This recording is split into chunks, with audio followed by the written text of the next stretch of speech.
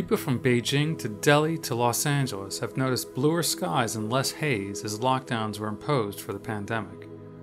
But this year is still on track to be the hottest year on record. Why is the air getting cleaner yet warmer? Satellite observations of nitrogen dioxide, a byproduct of burning fossil fuels, show that levels of that air pollutant are going down.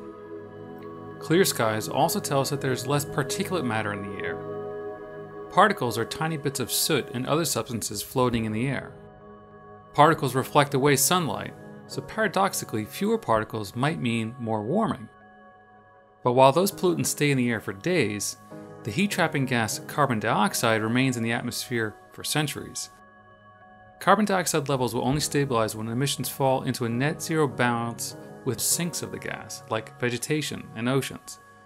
Even with declines in CO2 this year, the Earth is nowhere near achieving that balance.